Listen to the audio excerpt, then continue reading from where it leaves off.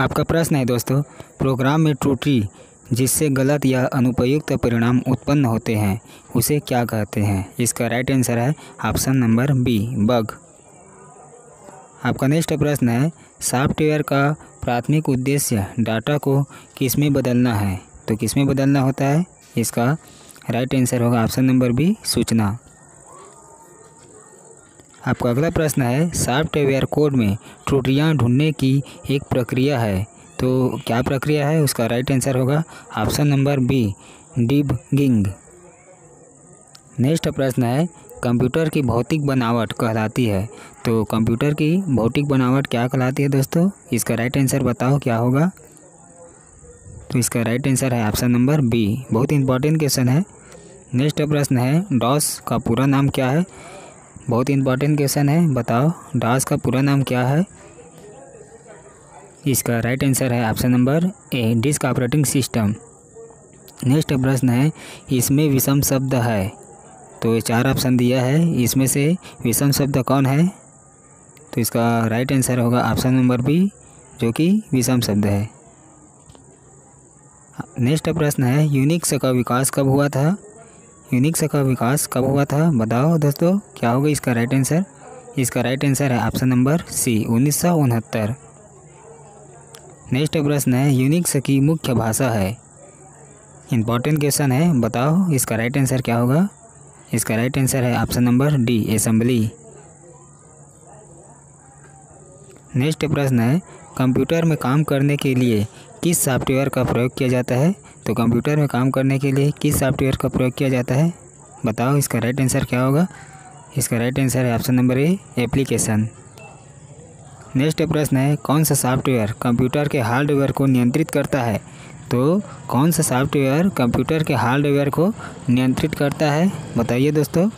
इसका right answer होगा option number A system अगला प्रश्न है कंपाइलर कंप्यूटर की किस प्रकार की भाषा है?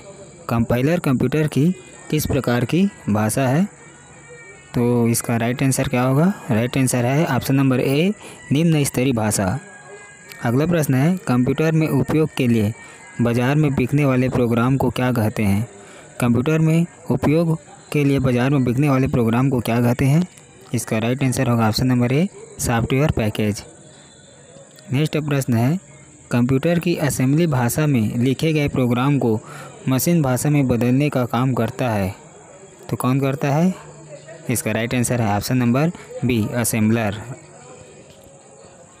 अगला प्रश्न है हार्डवेयर और सॉफ्टवेयर के बीच संबंध बनाने की तकनीक या सुविधा को क्या कहा जाता है? तो बताओ दोस्तों, इसका राइट आंसर क्या होगा?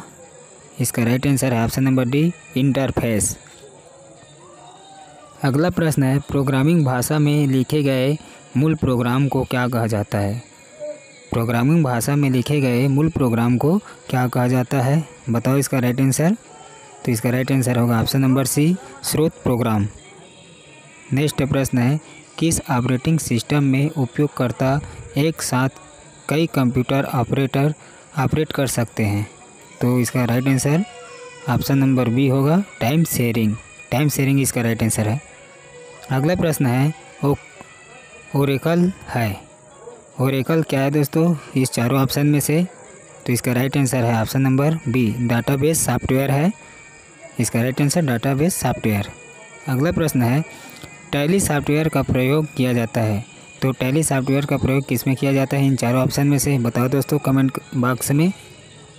तो इसका राइट आंसर है ऑप्शन नंबर सी अकाउंटिंग इसका राइट आंसर अकाउंटिंग होगा। नेक्स्ट प्रश्न है सी डी ए का तात्पर्य क्या है? अर्थात इसका पूरा नाम क्या है इस चारों ऑप्शन में से? तो बताओ दोस्तों, क्या होगा इसका right answer option number B computer aided design इसका राइट आंसर होगा। लास्ट क्वेश्चन है हमारा रिज्यूम बनाने के लिए किस सॉफ्टवेयर का उपयोग किया जाता है? तो बताओ दोस्तों, इसका राइट आंसर क्या होगा? ऑप्शन नंबर ए और बी पेज मेकर और एम एस वर्ल्ड से बनाया जाता है।